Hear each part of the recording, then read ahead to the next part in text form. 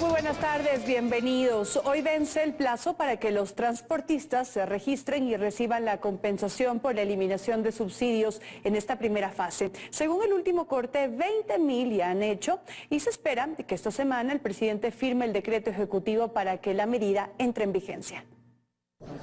El decreto ejecutivo para la eliminación de los subsidios a las gasolinas se firmará esta semana según lo anunciado por el gobierno y por eso este lunes es el último día para que los transportistas registren sus datos y reciban la compensación en esta primera fase. Según el último corte del Ministerio de Transporte, apenas 20.542 conductores de 84.000 ya están inscritos. Esto se debe a que muchos han presentado problemas. Cuando uno ingresa al link, pues ahí ya le piden los requisitos y al momento de eh, que pide la cuenta bancaria no me permite ya registrar, me sale que ya, ya está registrada.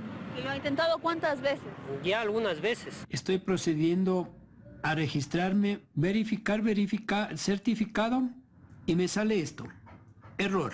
Otra de las dudas que tienen los conductores es qué pasará con quienes tienen más de un vehículo o tricimoto. Por ello, este lunes a las 3 de la tarde están convocados a una capacitación con el ministerio. Nosotros esperamos que estos primeros 15 días sean los inconvenientes. Inclusive puede haber sugerencias, como es el caso de que posterior a, de aquí a, a un mes se abra esta ventanilla para que de pronto los compañeros que tienen demasiados problemas puedan eh, asistir. Según los acuerdos alcanzados, los taxistas recibirán 40 dólares con 56 centavos al mes por este concepto, tricimotos 23 con 40 y camionetas 37 con 70. Quienes se registren hasta hoy recibirán el valor una vez que la medida entre en vigencia, pero quienes no lo logren tendrán cuatro meses más para hacerlo y la compensación será retroactiva. Sin embargo, hay preocupación entre taxistas porque los pagos no se hagan a tiempo. Siempre va a haber esa preocupación, ¿no?